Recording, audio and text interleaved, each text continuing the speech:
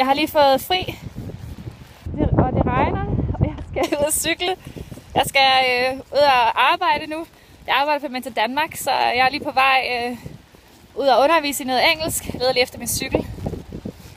Det her det er mit studie. Altså, det er sådan Aalborg Universitet ser ud. Udefra. Super flot. Og de her campingvogne, som holder her, de spiller opera hver morgen. så når man sidder inde og, og i gruppelokalerne og, og arbejder, så kan man nogle gange høre opera herudefra, hvis man har vinduet åbent. Så ved man godt, hvad der sker.